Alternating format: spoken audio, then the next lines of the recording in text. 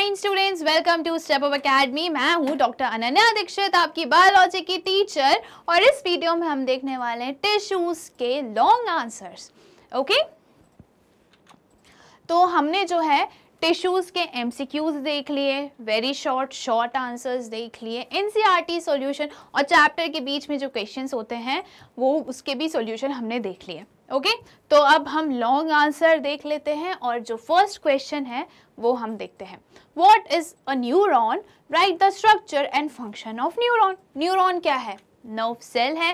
Nerve tissue जो होते हैं, वो इन्हीं नर्व सेल से बने हुए होते हैं okay Nervous tissue contain highly specialized unit cells called nerve cell or neuron. Okay nervous tissue किससे बने हैं? हाईली स्पेशलाइज सेल से बने हैं, जिनको हम बोलते हैं नर्व सेल्स और neuron each neuron has the following three parts हर एक न्यूरॉन जितने भी न्यूरॉन हैं, उनके पास ये तीन पार्ट्स हमें देखने को मिलते हैं. Okay okay? कौन से थ्री पार्ट्स हैं? द साइटॉन और सेल बॉडी सेल बॉडी को हम साइटॉन भी बोलते हैं.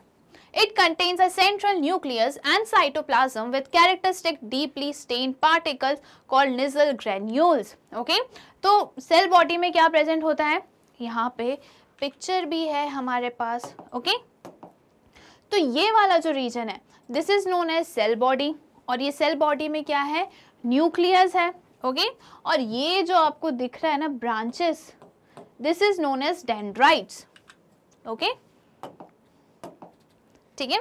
अब इनके पास और क्या चीज़ होती है? इनके पास होते हैं निसल ग्रैन्यूल्स, ठीक है? ये स्टेन्ड पार्टिकल्स होते हैं। फिर आती है बात डेंड्राइट्स की। These are short processes arising from the cyton cyton मतलब सेल बॉडी जो सेल बॉडी से अभी हमने देखा, जो ब्रांचेस निकल रही हैं, वो क्या है? डेंड्राइट्स हैं। सिग्नल्स इंफॉर्मेशन ये डेंड्राइट्स ही रिसीव करते हैं। Okay then comes the axon it is a single long cylindrical process of uniform diameter it carries impulses away from the cell body okay तो ये कैसे होते हैं सिंगल होते हैं लॉन्ग होते हैं सिलेंड्रिकल होते हैं ओके okay? तो ये जो वाला पार्ट है ना ये पूरा this is known as axon single है लॉन्ग है और सिलेंड्रिकल है ये सिग्नल्स कहाँ से आते हैं? डेंड्राइट से, सेल बॉडी में। सेल बॉडी से एक्सॉन। एक्सॉन जो है वो सिग्नल्स को अवे कैरी करता है, दूर लेके जाता है सेल बॉडी से, okay? A function.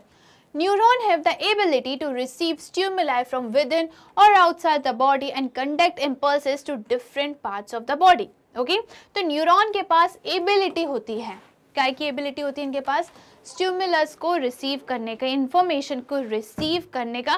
चाहे वो स्ट्यूमुलस हमारे इंटरनल हमारी बॉडी के अंदर हो या हमारे बॉडी के बाहर से हो, ठीक है?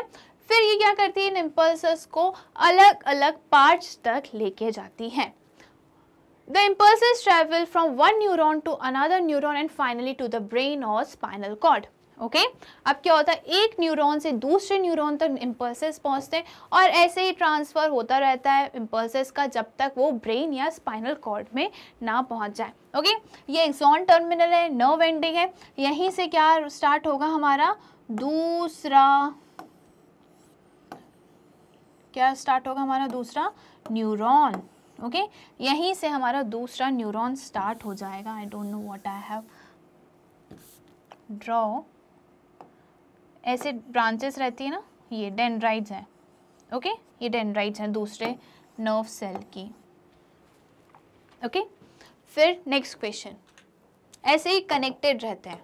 न्यूरॉन्स जो हैं वो एक दूसरे से कनेक्टेड रहते हैं. Second What is permanent tissue? Classify permanent permanent and describe them. Permanent tissues वो टिश्यूज होते हैं जो मेरिस्टमैटिक टिश्यू से बने होते हैं कैसे होते हैं मेरिस्टमैटिक टिश्यू में क्या होती है उनके पास कैपेबिलिटी होती है कि वो सेल डिवीज़न शो कर सके बट वहीं जो परमानेंट टिश्यूज हैं, वो सेल डिवीज़न शो नहीं करते हैं मेरिस्टमैटिक टिश्यूज जो अपना एक proper shape size function choose कर लेते मतलब एक्वायर कर लेते नॉट चूज़ एक्वायर कर लेते कि भैया मेरे को ये ही मेरा शेप रहेगा, यही मेरा साइज़ रहेगा और मुझे एक ही फ़ंक्शन करना है, मुझसे पचास काम मत करवाया करो ओके okay? तब ये क्या हो जाते हैं? परमानेंट टिश्यू हो जाते हैं मेच्योर हो जाते हैं और ये तब अपनी सेल डिवीज़न की एबिलिटी कैपेबिलिटी लूज कर देते हैं okay permanent tissues are derive from meristematic tissue कहाँ से डिराइव हुए हैं ये? मेरिस्टमैटिक टिश्यू से ही डिराइव हुए हैं। But this cell have loss the power of division but इनकी जो सेल्स हैं, उनमें अब डिवीज़न नहीं होता है, वो डिवीज़न कर ही नहीं सकते हैं and have attend their definite form और उन्होंने अपना एक डेफिनेट फॉर्म एक पर्टिकुलर यूनिफॉर्म फॉर्म ले चुका है। ठीक है? अब यही शेप और मेरा साइज़ रहेगा। Permanent tissues are classified into the following two types दो टाइप के परमानेंट टिश्यूज होते हैं simple permanent tissues and complex permanent tissues simple permanent tissues वो टिश्यूज होते हैं जो एक ही टाइप के सेल से बने हुए हैं. कॉम्प्लेक्स मतलब कॉम्प्लेसिटी अलग अलग टाइप के सेल से बने हुए हैं, है ना? तो ये डिफरेंस होता है. These tissues are compose of cell which are structurally and functionally similar ठीक है, कैसे ये स्ट्रक्चर भी सेम है फ़ंक्शन भी सेम है. Okay okay? Simple permanent tissue are further classified in following three types अब ये भी further classified in three types में. Parenchyma collenchyma and sclerenchyma okay parenchyma कायमा जो है, वो प्लांट में ज़्यादातर प्रेजेंट होता है. Parenchyma form the bulk of the plant body parenchyma cells are living possesses the power of division अरे भाई, यहाँ पे तो नई बात बोल दी कि जो पेरेंट कायमा सेल है, वो क्या कर रहे हैं? वो लिविंग तो है, ये बात तो हम जानते हैं और वो साथ में पावर ऑफ़ डिवीज़न भी कर रहे हैं। मतलब उनके पास एबिलिटी है कि वो डिवीज़न शो करें। आप बोलोगे, मैम, आपने तो हमें बताया था कि ये जो पेरेंट कायमा है, ये परमानेंट टिश्यू है और ये सेल डिवीज़न नहीं शो करते जी हाँ ये बात सही है। ये पेरेंट कायमा जो है, वो सेल डिवीज़न नहीं शो करते। बट कभी कभी ऐसी सिचुएशन आ जाती है कभी कभी कि इनको सेल डिवीज़न शो करना पड़ता है। Okay okay? तो ये सिर्फ़ पेरेंट कैमा के पास ही होता है। Okay collenchyma collenchyma tissues tissues are also living ठीक है? पेरेंट कायमा कॉलन कायमा दोनों लिविंग होते हैं। बस ये जो स्क्लेरन कायमा है, बेचारा, इसको ये डेड है। ठीक है? It is characterise by the deposition of extra cellulose at the corner of the cell okay अब क्या होता है ना कॉलन कायमा के जो वॉल्स होते हैं, ठीक है? वो इरेगुलरली थिकन होते हैं। क्यों थिकन होते हैं? क्योंकि उनके पास एक्स्ट्रा सेलुलोज डिपॉजिट होता है। ओके? अब वही जो स्क्लेरन कैमा है, ये कैसे हैं? डेड हैं, मरे हुए हैं and they are devoid of protoplasm इनके पास प्रोटोप्लाज्म नहीं होता। The cell wall of sclerenchyma are largely thicken with the deposition of lignin अब जो पेरन कैमा की सेल वॉल थी, वो कैसी थी? थिन थी ओके okay? इनकी कहीं कहीं थिन थी, कहीं कहीं मोटी थी, ठीक है? और जहाँ जहाँ मोटी थी, वहाँ पे एक्स्ट्रा डिपोजिशन था सेलुलोज का। अब ये जो स्क्लेरन कायमा ये पूरी की पूरी मोटी है डेड भी है, मोटी भी है और मोटी क्यों है? क्योंकि इनके पास है लिग्निन का डिपोजिशन ओके ये तो बात हो गई हमारे किसकी? परमानेंट टिश्यू की सिंपल अब हम बात करते हैं कॉम्प्लेक्स परमानेंट टिश्यू ऐसे टिश्यू जिनके सेल्स जो हैं वो अलग अलग टाइप के हैं। Okay? The complex tissue consists of more than one type of cell having a common origin okay? तो ये क्या है? कॉम्प्लेक्स परमानेंट टिश्यू क्या है कि अलग अलग टाइप के सेल से बनी हुई है बट उन सेल्स का ओरिजिन जो है ना, जहाँ से वो ओरिजिन हुए हैं, वो सेम है कॉमन है। ठीक है? All this cell coordinate to perform a common function ये जो सेल है, वो आपस में एक साथ कोऑर्डिनेट करके एक ही फ़ंक्शन करते हैं कॉमन ठीक है? Complex tissue are of the following two types complex tissue क्या है? दो टाइप्स के होते हैं जाइलम एंड फ्लोएम जाइलम जो है, हमेशा याद रखना, हम क्या बोलते हैं? डब्ल्यू एक्स है ना? डब्ल्यू एक्स वाई जेड बोलते हैं ना? तो डब्ल्यू एक्स से क्या हो गया? जाइलम डब्ल्यू से क्या हो गया? वाटर वाटर के साथ और क्या ट्रांसपोर्ट होता है? मिनरल्स होते हैं ओके तो जाइलम जो है, वो ट्रांसपोर्ट करेगा वाटर को.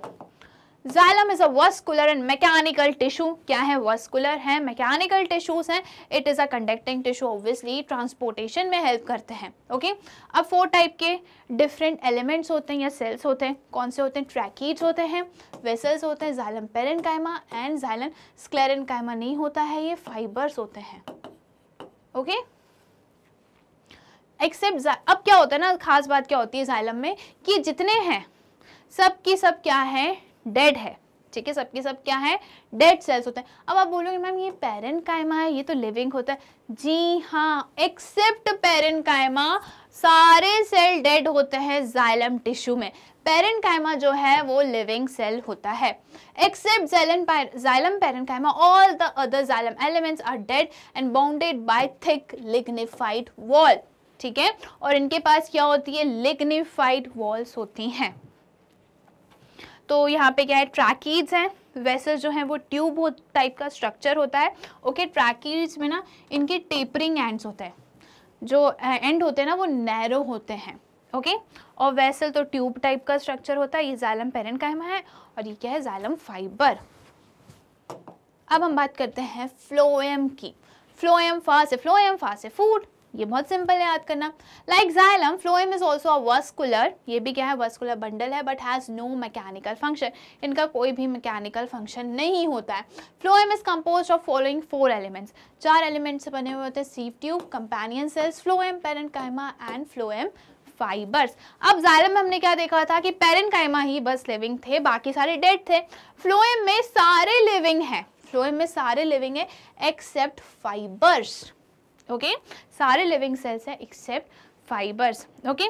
और इसमें कंडक्शन का काम कौन करता है? Sieve tube and companion cell food phloem जो है वो फ़ूड का ट्रांसपोर्टेशन करता है। Next question describe the structure and function of stomata हमें स्टोमेटा का क्या बताना है? स्ट्रक्चर बताना है और फ़ंक्शन बताना है। तो बहुत ही इजी क्वेश्चन है ये तो। Stomata are small pores present in the on the epidermis of leaf ठीक है? स्टोमेटा क्या है? स्मॉल पोर्स होते हैं ओपनिंग्स होती हैं और ये कहाँ प्रेजेंट होते हैं? एपिडर्मिस लीव्स की जो एपिडर्मिस होती है, वहाँ पे ये प्रेजेंट होते हैं। And are enclose by two kidney shaped cells called guard cells okay और इनके आजू बाजू क्या देखने को मिलता है हमें? किडनी शेप के दो सेल्स देखने को मिलते हैं, जिन्हें हम क्या बोलते हैं? गार्ड सेल्स ओके तो ये जो किडनी शेप है, ये क्या है? गार्ड सेल्स है। और ये जो ओपनिंग है, ये क्या है? स्टोमेटल पोर है। स्टोमेटा क्या होता है? ओपनिंग होती है। अब स्टोमेटा का फ़ंक्शन क्या होता है कि ये तो पता है कि लीव्स में एक्सचेंज ऑफ़ गैसेस किसके थ्रू हो रहा है? स्टोमेटा के थ्रू हो रहा है। जो प्लांट्स हैं वो वाटर को लूज करते हैं, ठीक है? हमने सुना है कि पेड़ जो हैं, वो पानी सॉइल से अब्जॉर्ब करके एटमॉस्फेयर में रिलीज़ करते हैं। तो कैसे रिलीज़ करेंगे? बारिश करवाएँगे क्या? बारिश नहीं करवाएँगे। रूट से वो पानी अब्जॉर्ब करते हैं और ये जो स्टोमेटा है ना, उस तक पानी पहुँचता है और पानी वेपर्स के फॉर्म में इवेपरेट हो जाता है और इसको हम बोलते हैं transpiration loss of water in the form of water vapour through stomata is known as transpiration okay necessary for क्या होते हैं function necessary for exchanging gases with the atmosphere during photosynthesis and respiration photosynthesis के time पे इनको carbon dioxide चाहिए रहता है और रेस्पिरेशन के टाइम पे इनको ऑक्सीजन चाहिए रहता है. Transpiration that is loss of water takes place through them okay next question write a short note on xylem xylem के बारे में तो हमने बहुत कुछ देख ही लिया है। हम देख लेते हैं और क्या लिखा है? Xylem is complex permanent tissue सही बात है। And is also known as conduction tissue xylem जो है वो कॉम्प्लेक्स परमानेंट टिश्यू का एक टाइप है और ये क्या है? कंडक्शन टिश्यू भी बोलते हैं हम इनको। The cells have thick walls and many of them are dead cells कैसी हैं? थिक है और इनमें से ज़्यादातर डेड सेल्स है। कैसी है? डेड सेल्स है हमने देखा था कि जाइलम में जो सिर्फ़ जाइलम पेरेंकाइमा सेल जो हैं, वो ही लिविंग होती हैं। बाकी सारी की सारी डेड होती है, मरी हुई होती हैं। It consist of tracheids vessels xylem parenchyma and xylem fibre यही फोर एलिमेंट्स हैं। Tracheids and vessels are tubular structure these allow this allows them to transport water and mineral vertically upward tracheids और vessels जो होते हैं, tubular structure होता है मतलब tube like structure होता है और ये ही वाटर के कंडक्शन में हेल्प करता है। एक और बात जाइलम में जो वाटर का कंडक्शन हो रहा है, वो हमेशा कैसा होता है? यूनी डायरेक्शन होता है, हमेशा अपवर्ट में होगा, ठीक है? ऐसा नहीं है कि लीव से पानी नीचे आ जाएगा रूट्स में, नहीं। रूट से पानी लीव्स तक पहुंचेगा, हमेशा अपवर्ड डायरेक्शन में ही मूवमेंट होता है और इसको हम बोलते हैं असेंट ऑफ़ सैप आपके टेंथ में काम आएगा। Okay next The parenchyma stores food and helps in the lateral conduction of water. Fibers are mainly supportive in function. Okay? तो ये जो है पेरेंट पेरेंकाइमा जो है, वो फ़ूड स्टोर करता है। पेरेंट पेरेंकाइमा का काम ही होता है फ़ूड स्टोरेज का। और ये क्या करता है? लेटरल कंडक्शन करता है। लेटरल मतलब साइड में भी तो पानी पहुंचाएगा। आप कोई ब्रांच यहाँ से निकल रही है ट्री की तो वहाँ तक पानी कैसे पहुँचाएगा जब सबकी सब वर्टिकली कर रहे हैं तो? तो कौन पहुँचाएगा पेरेंट कायमा पहुँचाएगा। और ये जो वेसल्स होते हैं, वो भी लेटरल कंडक्शन करते हैं वाटर का। ओके फाइबर्स का काम होता है मैकेनिकल सपोर्ट देने का।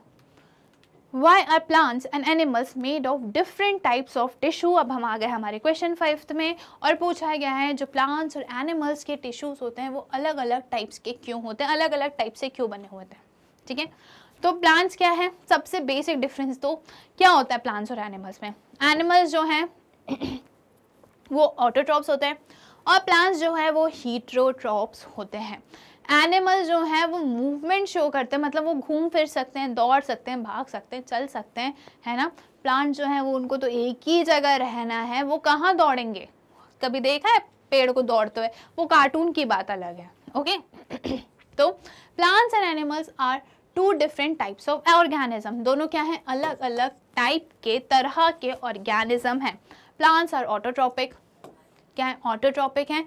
So they prepare their own food by photosynthesis okay autotrophs हैं तो ये अपना खाना खुद बना लेते हैं और इस प्रोसेस को हम क्या बोलते हैं? फोटोसिंथेसिस बोलते हैं। Moreover plants are stationary और फिक्स्ड ऑर्गेनिज्म प्लांट्स क्या है? स्टेशनरी हैं मतलब एक ही जगह हैं, ठीक है? वो एक जगह से दूसरी जगह नहीं जाते हैं। स्टेशनरी है, ठीक है? मूवमेंट नहीं शो कर रहे fixed organism since they do not consume और need much energy so most of the tissues of plants are supported okay क्या बोला है? इन लोगों को ज़्यादा एनर्जी तो चाहिए नहीं होती है प्लांट्स को, क्योंकि दौड़ का रहे हैं, भग का रहे हैं तो उनको ज़्यादा एनर्जी की ज़रूरत नहीं होती है। ओके?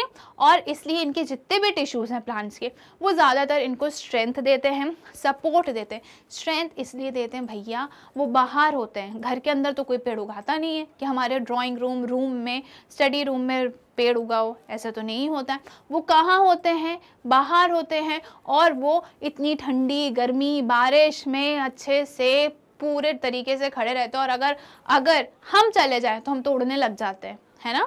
तो वैसे ही प्लांट्स के ज़्यादातर सेल्स कैसे होते हैं? टिश्यूज सपोर्टिव होते हैं।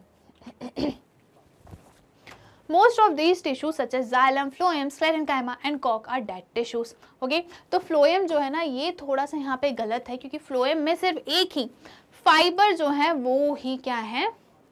डेड टिश्यूज होते हैं ओके स्क्लेरन कायमा एंड कॉर्क ये बाकी सारी चीज़ें जाइलम जो है वो भी डेड टिश्यूज हैं स्क्लेरन कायमा भी डेड है, और कॉर्क जो प्रोटेक्टिव टिश्यूज हैं वो भी डेड सेल्स होते हैं। They did not contain living protoplasm इनके पास लिविंग प्रोटोप्लाज्म भी नहीं होता है। Animals on the other hand are heterotrophic animals कैसे हैं? हीट्रोट्रॉपिक ऑर्गेनिजम्स हैं। वो अपने फ़ूड के लिए, खाने के लिए भैया दूसरों पे डिपेंडेंट होते हैं। बहुत ही, क्या लोग हैं ये? दूसरों पे निर्भर रहने वाले लोग होते हैं। ओके okay, हम भी हम भी खुद हैं. They have to move in search of food mate and shelter okay तो उनको फ़ूड के सर्च में पार्टनर के सर्च में और शेल्टर के सर्च के लिए कहाँ वो रह सकते हैं उसके लिए वो घूमते फिरते रहते हैं एक जगह से दूसरी जगह. So they need more energy as compare to plants तो प्लांट्स के कंपैरिजन में उनको ये सब काम करने के लिए ज़्यादा एनर्जी चाहिए क्योंकि भैया वो घूम रहे हैं चल रहे हैं ऑब्वियस सी बात है जेनर्जी उनको ज़्यादा चाहिए। Most of this tissue contain living protoplasm okay और इन टिश्यूज़ में क्या होता है एनिमल टिश्यूज़ के पास ज़्यादातर लिविंग प्रोटोप्लाज्म होता है। There are some tissues in plants which divide throughout the life they divide for the growth and reproduction of the plants in contrast to plant growth in animal is uniform okay तो यहाँ पे क्या लिखा है कि कुछ plants होते हैं प्लांट्स के कुछ टिश्यूज होते हैं जो पूरे लाइफ टाइम लाइफ टाइम वो सिर्फ़ डिवीज़न शो करते हैं सेल डिवीज़न शो करते हैं। और ये सेल डिवीज़न क्यों ज़रूरी है?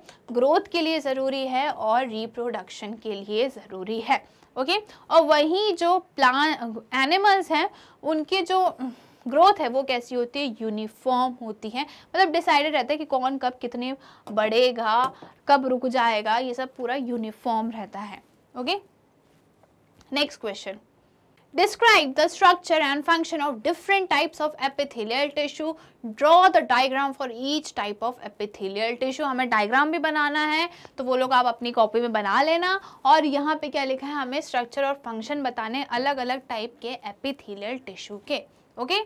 तो क्या होता है सब कितने टाइप के होते हैं simple squamous epithelium stratified squamous epithelium columnar epithelium and cuboidal epithelium. अब हम इनको देखते हैं, अच्छे से डिटेल में बात करते हैं। Simple squamous epithelium, okay? They are present in cells lining blood vessels और lung एल्जुलाई where transportation of substances occur through a selectively permeable surface there is a simple flat kind of epithelium okay? क्या होता है simple squamous epithelium मतलब क्या होता है कि ये जो सेल्स हैं, ये कहाँ, ये जो टिश्यूज़ हैं, ये कहाँ प्रेजेंट होते हैं? ब्लड वेसल्स में और एल्वुलाई में। ब्लड वेसल्स और एल्वुलाई में ये इसलिए प्रेजेंट होते हैं क्योंकि इनको ट्रांसपोर्टेशन करना है। जहाँ पे भी एक्सचेंज हो रहा है मटेरियल का, वहाँ पे हमें क्या मिलेगा? सिंपल स्क्वामस एपिथेलियम ओके और ये सारे चेंजेस ट्रांसपोर्टेशन कैसे हो रहा है?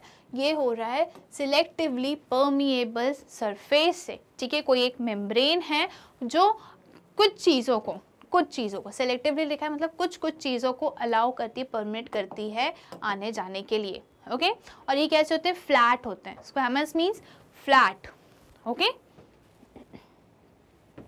next question stratified squamous epithelium अब स्ट्रेटिफिकेशन है मतलब कि क्या है? इनमें लेयर्स प्रेजेंट है। दिख रही है आपको ये layers okay stratification means layers skin epithelial cells are arranged in many layers to prevent wear and tear अब ये स्ट्रेटिफाइड squamous कहाँ प्रेजेंट होते हैं? ये प्रेजेंट होता है हमारे स्किन में। हमारी जो त्वचा होती है, वो कौन से टिश्यू से बनी होती है? वो बनी होती है स्ट्रेटिफाइड स्क्वामस से। और ये जो टिश्यू है, ये किसमें लेयर्स में अरेंज होते हैं, ताकि हमें कोई चोट लग जाए, हम हम गिर जाते हैं तो हमारा हाथ घिसटा जाता है तो उससे ये कौन बचाता है? हमारी यही टिश्यूज हेल्प करते हैं। Since they are arrange in pattern of layer the epithelium is called stratified squamous epithelium इनका अरेंजमेंट कैसे है? लेयर्स में। स्ट्रेटिफिकेशन मतलब लेयर्स में। ओके? इसलिए इनका नाम क्या है? जो नाम है stratified squamous okay see columnar epithelium where absorption and secretion occur as in the inner lining of the intestine these tall epithelial cells are present this columnar epithelium facilitate movement across the epithelial barrier अब क्या होता है ना कि epithelium tissue को ना हमने किस बेसिस पे कैटेगराइज करा है शेप के बेसिस पे किसके बेसिस पे शेप के बेसिस पे जो हमने स्क्वामस देखा वो कैसे थे फ्लैट रहते थे ओके और वहीं जो कॉलमनर है तो वो कैसे रहेंगे? कॉलम लाइक रहेंगे। ठीक है?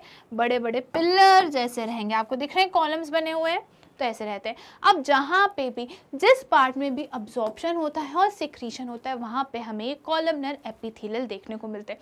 तो कहाँ होता है? अब्जॉर्प्शन एंड सिक्रीशन होता है इंटेस्टाइन में। ओके तो यहाँ पे कौन से हैं? टॉल टॉल हैं पिलर लाइक है, इसलिए। ठीक है? और ये क्या करते हैं? मूवमेंट में हेल्प करते हैं। किसी भी सब्सटेंस के मूवमेंट में ये हेल्प करते हैं। इन द रेस्पिरेटरी ट्रैक्ट अब यहाँ पे कुछ नई चीज़ मिलने वाली है। The columnar epithelial tissue also है सीलिया अब कॉलमनर एपिथेलियल टिश्यू के पास अगर सीलिया आ जाए मतलब ऐसे ऐसे हेयर लाइक प्रोजेक्शन आ जाए सीलिया आ जाए तो उनको हम बोलते हैं क्या? Ciliated columnar epithelial tissue which are hair like projection on the surface outer surface of epithelial cell okay outer surface पे सीलिया प्रेजेंट होते हैं। The cilia can move and their movement pushes the mucus forward to clear it okay तो ये किसमें help करते हैं? ये basically help करते हैं मूवमेंट ऑफ़ पार्टिकल में। अब ये लंग्स में प्रेजेंट है रेस्पिरेटरी ट्रैक में प्रेजेंट है। तो जो म्यूकस है, उसको आगे की तरफ़ पुश करने के लिए मूव करने के लिए ये हेल्पफुल होते हैं। कौन? Cilia okay this type of epithelium is thus called ciliated columnar epithelium. Okay? क्योंकि कॉलमनर टिश्यू के पास सीलिया प्रेजेंट है मूवमेंट ऑफ़ पार्टिकल्स करवा रहे हैं हेल्प करवा रहे हैं ये तो इसलिए इनका नाम क्या हो गया? Ciliated columnar D cuboidal epithelium. अब क्या है ये? क्यूबॉइडल है, क्यूबॉइड शेप के हैं। दिख रहे हैं आपको ये? क्यूबॉइड शेप के हैं। Okay? These form the lining of the kidney tubules kidney में जो ट्यूब्यूल्स प्रेजेंट हैं, उनकी लाइनिंग ये बनाते हैं। Duct of salivary glands salivary glands की डक्ट्स बनाते हैं ये। Where these provide mechanical support okay? और वहाँ पे इनका काम क्या होता है? मैकेनिकल सपोर्ट का काम होता है। Sometimes a portion of the epithelial tissue falls inward and a multicellular gland form this is glandular tissue okay? तो कभी क्या होता है? कभी कभी क्या होता है कि एपिथेलियल टिश्यू ठीक है? इनवर्ड्स फोल्ड हो जाती है। सपोज़ ये एपिथेलियल टिश्यूज है तो ये कैसी फोल्ड हो जाएगी? Inwards okay? इनवर्ड्स फोल्ड हो जाएगी और ये क्या बोलेंगे इसको? ये क्या फॉर्म करेंगे? एक मल्टी सेलुलर ग्लैंड फॉर्म करते हैं ये ओके और उनको हम दे देते हैं ग्लैंडुलर एपिथीलियम अब हम चलते हैं हमारे next question question number seven differentiate between meristematic tissue and permanent tissue हमें मेरिस्टमैटिक टिश्यू और परमानेंट टिश्यू के बीच में डिफरेंसेस लिखने हैं ओके okay? तो ये तो हमें पता ही है कि the cell divide repeatedly meristematic tissues के जो सेल्स होते हैं, वो रिपीटेडली डिवीज़न शो करते हैं और यहाँ के जो होते हैं, वो नहीं शो करते. The cells are derive from meristematic tissue and do not divide, okay? The cells are undifferentiated. The cells are fully differentiated, okay? तो अनडिफ्रेंशिएटेड और डिफ्रेंशिएटेड का मतलब ये होता है कि जो सेल है, उसने एक पर्टिकुलर वेराइटी ऑफ़ सेल में अभी तक वो डेवलप नहीं हुआ है ओके okay? और ये डिफ्रेंशिएटेड मतलब सेल ने अपना शेप साइज़ और फ़ंक्शन एक्वायर्ड कर लिया, एक पर्टिकुलर वेराइटी में वो डेवलप हो चुका है okay the cell are small and isodiametric okay cell क्या है यहाँ पे? आई स्मॉल है और आइसोडायमेट्रिक है रफली स्फेरिकल मतलब होता है इसका। The cells are variable in shape and size permanent tissue के जो सेल हैं, वो सेल जो हैं, वो अलग अलग शेप के होते हैं और उनका साइज़ भी अलग अलग है। Intercellular spaces are generally absent cells के बीच में, के बीच में जो डिस्टेंस है, जो स्पेस है, वो कैसा है एबसेंट है? मतलब सेल्स जो हैं, वो एक दूसरे से बहुत कॉम्पैक्टली एक दूसरे से चिपकी हुई हैं अच्छे से okay visible intercellular spaces are present अब इनके जो सेल हैं, वो दूर दूर हैं और सेल्स के बीच में हमें स्पेसेस देखने को मिल रही है मतलब खाली जगह है। वैक्यूल्स आर एबसेंट वैक्यूल्स जो है, वो एबसेंट है। Vacuoles large vacuoles are present in mature cell permanent tissue में वैक्यूल्स कैसे हैं? लार्ज वैक्यूल्स होते हैं ओके okay? मेटाबॉलिज्म जो होता है, इनमें हाई रेट में होता है और यहाँ पे मेटाबॉलिज्म जो है, वो लो रेट में होता है, ठीक है? मेटाबॉलिज्म हाई होता है यहाँ पे और यहाँ पे कम होता है जल्दी जल्दी होता है, ठीक है? The cell wall are thin cell walls में भी थिन और थिक इनकी सेल वॉल थिन होती है और इसकी थिक और थिन होती है। मेटाबॉलिज्म को मैं बता दूँ कि सेल में जितने भी केमिकल रिएक्शन हो रहे हैं, जो फ़ूड को कन्वर्ट कर रहे हैं एनर्जी में, उसको हम बोलते हैं metabolism okay next question what are the role of epidermis in plant plant में जो एपिडर्मिस है, उसका क्या काम है? प्रोटेक्टिव टिश्यू होता है ये। The function of epidermis are epidermis is usually made up of single layer of cell and gives protection epidermis जो होती है, वो एक सिंगल लेयर की सेल होती है, ठीक है? ये ऊपर की लेयर क्या है? एपिडर्मिस है। सिंगल लेयर होती है वो और क्या प्रोवाइड करती है? प्रोटेक्शन प्रोवाइड करती है। The epidermis may be thicker in some plants living in dry habitats और of and secrete a waxy water resistant layer on their outer surface called cutin okay to prevent water loss अब ये जो epidermis है, वो अगर हम cactus plants में देखें, जो डेजर्ट प्लांट्स में देखें तो उनमें कैसी होती है एपिडर्मिस मोटी होती है थिक होती है। यहाँ पे क्या लिखा है? ड्राई हैबिटेट्स और ज़्यादातर जो एपिडर्मिस है डेजर्ट प्लांट्स की ड्राई हैबिटेट्स की, वो क्या सिक्रीट करती है? वैक्सी सिक्रीट करती है, कुछ वैक्सी सब्सटेंसेस सिक्रीट करती है, जैसे हम क्या बोलते हैं? क्यूटिकल ये जो क्यूटिन होता है, ये जो क्यूटिन होता है क्यूटिन होता है, ये क्या करता है? वाटर प्रूफ होता है मतलब हमें पता है कि क्या होता है? एपिडर्मिस से एपिडर्मिस में स्टोमेटा प्रेजेंट होते हैं, वो ट्रांसपिरेशन कॉज करते हैं। ओके? अब ये क्यूटिन प्रेजेंट है, ये क्या है? वाटर प्रूफ है, ओके? तो ये प्रिवेंट कर रहा है कि ट्रांसपेरेशन ना हो वाटर लॉस ना हो। और ये कौन सिक्रीट करते हैं? Epidermis The epidermis of leaves have small pores called stomata which help in gaseous exchange and transpiration. जो leaves की epidermis है उनमें क्या present होते हैं small pores opening present होते हैं जिसे हम stomata बोलते हैं और stomata किसमें help करता है gaseous exchange और transpiration में okay? The epidermis cell of roots bear root hairs that greatly increases the total absorptive surface area of the roots for absorption of water.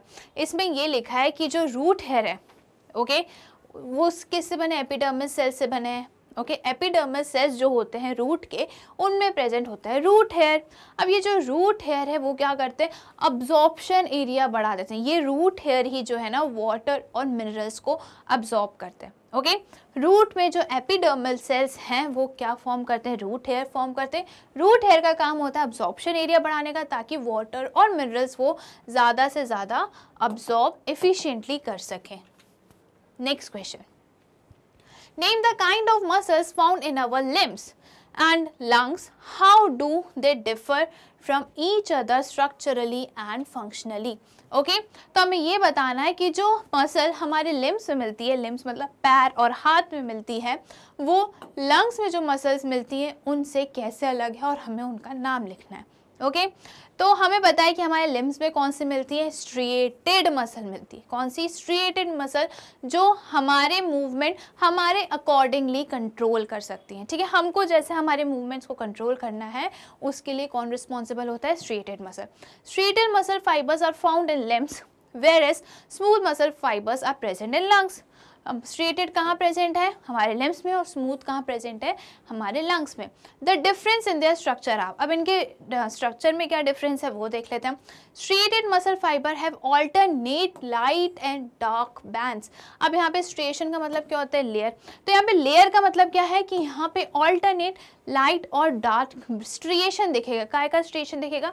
Light band और dark band का। Light band होगी फिर dark band होगी फिर light band होगी फिर dark band होगी okay? तो ये लेयर फॉर्म करती है। Which is which are not present in the smooth muscle fibre okay? ये जो dark light and dark band का अल्टरनेट जो uh, क्या बोलना चाहिए हमें अरेंजमेंट है वो हमें स्ट्रिएटेड मसल्स में ही मिलता है। स्मूथ मसल्स में हमें ये नहीं मिलता है okay? okay?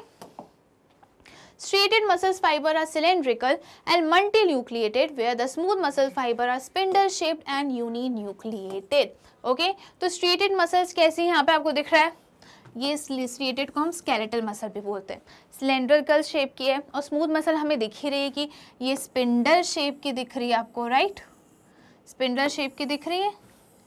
ऐसे, है ना? तो ये स्पिंडल शेप की है। जो स्मूथ मसल फाइबर है, ये मल्टी न्यूक्लिएटेड है। मतलब इसमें बहुत सारे न्यूक्लियस प्रेजेंट है। सपोज़ ये एक मसल सेल है, ओके? okay? अब इसमें आपको दिख रहा है एक न्यूक्लियस, दो न्यूक्लियस, यहाँ पे बहुत सारे न्यूक्लियस है। वहीं जो स्मूथ सेल है, अब यहाँ पे एक हमें मसल सेल दिखा, और ये यूनी न्यूक्लियट है। इनके पास एक सेल में एक ही न्यूक्लियस और इनके पास जो फाइबर्स है, इनके पास मल्टी न्यूक्लियस है मतलब काफ़ी सारे न्यूक्लियस प्रेजेंट है। Striated muscles are voluntary in nature whereas the smooth muscle fibres are involve in in are involuntary in nature okay striated muscles voluntary होती हैं कि हम, हमारे अकॉर्डिंगली उन मसल्स को मूव कर सकते हैं, ठीक है? जैसे हमारे लिम्स में प्रेजेंट है तो हम हाथ को उठा सकते हैं, नीचे कर सकते हैं, ऐसे कर सकते हैं। तो इसके लिए कौन रिस्पॉन्सिबल है? स्ट्रिएटेड मसल रिस्पॉन्सिबल है और ये हमारे टोटली कंट्रोल में है। ओके? और वहीं जो स्मूथ मसल्स फाइबर हैं, वो इनवॉलेंट्री मसल्स होती हैं, जो हमारे कंट्रोल में नहीं है। लंग्स में जो मसल्स है लंग्स अपना काम कर रहे हैं। क्या लंग्स का काम हमारे कंट्रोल में है? उनकी मसल सांस लेना लंग्स का एक्सपैंड होना तो ये क्या हमारे कंट्रोल में, हमारे कंट्रोल में नहीं है? इसलिए वो क्या है? इनवॉलेंट्री होती हैं नेचर में, जो अपना काम खुद ब खुद करती रहती हैं। Next question what is connective tissue explain its type अब हमें कनेक्टिव टिश्यू के बारे में बताना है कनेक्टिव टिश्यू से समझ में ही आ रहा है कि ऐसे टिश्यूज जो आ, हमारे अलग अलग बॉडी ऑर्गन्स को या पार्ट्स को कनेक्ट कर रहे हों okay the connective tissue consist of different types of cell अलग अलग टाइप्स के सेल मिलते हैं इसमें. All of them perform same function connective tissue में अलग अलग टाइप के सेल्स मिलते हैं और सारे के सारे सेम फ़ंक्शन परफॉर्म करते हैं। जैसे कि अब हम बात करें एरियुलर कनेक्टिव टिश्यू की। It is found between the skin and muscle areolar tissue कहाँ मिलता है हमें? स्किन में मिलता है मसल्स में मिलता है ओके ब्लड वेसल्स के अराउंड मिलता है नर्व्स के अराउंड मिलता है और बोन मैरो में भी मिलता है okay okay? Areolar tissue fills the space inside the organs organs में जो स्पेस प्रेजेंट है, उसको कौन भरता है? एरियुलर टिश्यू भरता है। अगर कोई टिश्यू डैमेज हो जाए तो उसके रिपेयरिंग के लिए भी कौन हेल्प करता है? एरियुलर कनेक्टिव टिश्यूज ही हेल्प करते हैं। It supports internal organ and helps in repair of tissues okay ये बात हुई हमारी एरुलर टिश्यू की। अब हम बात करते हैं एडिपोज टिश्यू की। Adipose tissue stores fat, okay? इसका मेन फ़ंक्शन क्या होता है? फैट स्टोरेज का, किसका? एडिपोज टिश्यू का। कहाँ मिलते हैं ये? Found below the skin and between internal organs ये स्किन के नीचे वाली जो लेयर होती है, वो एडिपोज टिश्यू से बनी होती है, क्योंकि वहाँ पे फैट का डिपोजिशन होता है। ओके? और ये कहाँ मिलती है? इंटरनल ऑर्गन ऑर्गन्स के बीच में हमें कौन से टिश्यूज मिलते हैं? एडिपोज टिश्यू ऑर्गन्स के अंदर कौन से मिलते हैं हमें? Areolar tissue okay? The cells of this tissue are filled with fat globules ये टिश्यू क्या है इन टिश्यू के अंदर? इन टिश्यूज में है फैट ओके? फैट स्टोरेज के कारण. ओके? इंसुलेटर का मतलब क्या होता है कि ये जो हीट को हीट के कंडक्शन को प्रिवेंट करता है ओके और फैट्स जो होते हैं, वो बैड कंडक्टर ऑफ़ हीट होते हैं ओके okay? तो इसलिए जो एडिपोज टिश्यू है, वो इंसुलेटर का काम कर रहा है क्यों कर रहा है क्योंकि उनके पास फैट्स प्रेजेंट हैं ओके okay? तो वो हीट का कंडक्शन नहीं होने देते blood it has a fluid blood जो है, वो उसके पास दो चीज़ें होती हैं प्लाज्मा होती हैं और ब्लड सेल्स होते हैं okay it has a fluid call plasma in plasma are present red blood cells white blood cells and platelets okay are जो होते हैं, वो ऑक्सीजन ट्रांसपोर्टेशन में हेल्प करते हैं। डब्ल्यू जो होते हैं, वो डिफेंस मैकेनिज्म में काम करते हैं। और जो प्लेटलेट्स होते हैं, उनका फ़ंक्शन क्या होता है? कि जब भी आपको चोट लग जाती है ब्लीडिंग हो रही है, खून बह रहा है, थोड़ी देर बाद आप देखो, देखोगे कि ब्लीडिंग अपने आप रुक जाती है, खून बहना बंद हो जाता है। तो वो जो आपको फिर वहाँ पे दिखता है कि खून जो है वो जम गया।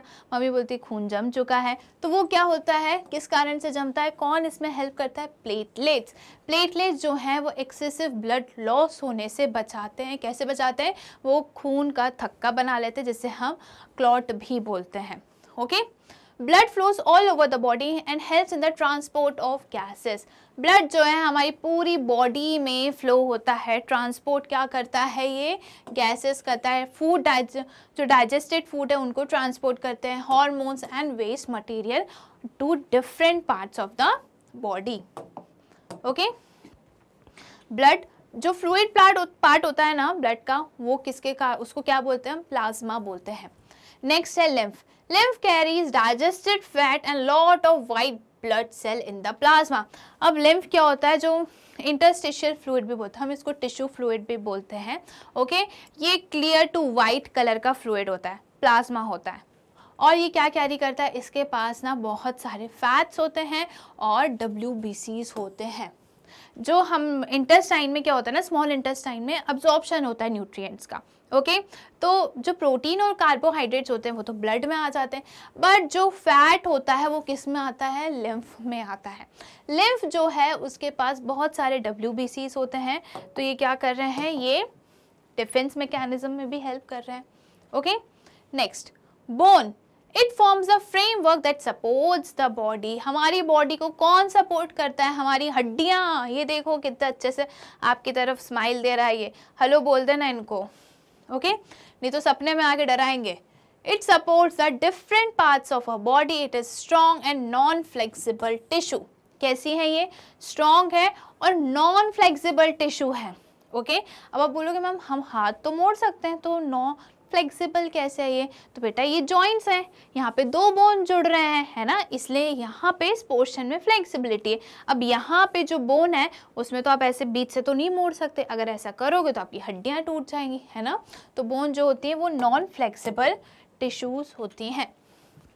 नेक्स्ट कार्टिलेज कार्टिलेज कहाँ कहाँ होता है? हमारी नोज़ में प्रेजेंट होता है ear trachea and larynx okay ये क्या करता है? जो बोन की नीचे वाली हिस्सा होता है ना सरफेस होता है, जहाँ पे जॉइंट्स बन रहे हैं, जैसे ये बोन है ओके जहाँ पे दो बोन जुड़ रही हैं तो उसके ये वाले पोर्शन को ये क्या कर देती है? स्मूथ बना लेती है। क्या बना देती है? स्मूथ कौन बनाते हैं? कार्टिलेज बनाते हैं। Okay okay?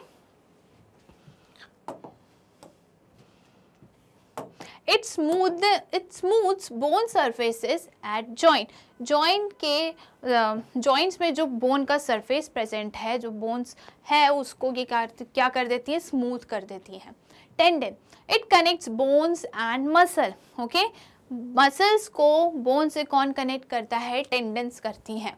These tissues are fibrous flexible and with lot of strength ये टेंडेंस जो होते हैं ना ये फाइब्रस होते हैं फ्लेक्सिबल होते हैं और क्या होता है, इनके पास बहुत ज़्यादा शक्ति होती है स्ट्रेंथ होती है। ओके तो ये मसल है और ये क्या है? बोन है। अब ये जो पार्ट है मसल को बोन से कौन अटैच कर रहा है? टेंडन कौन अटैच कर रहा है? टेंडन और ये कैसी है? बहुत स्ट्रेंथ है इसमें और फ्लेक्सिबल है।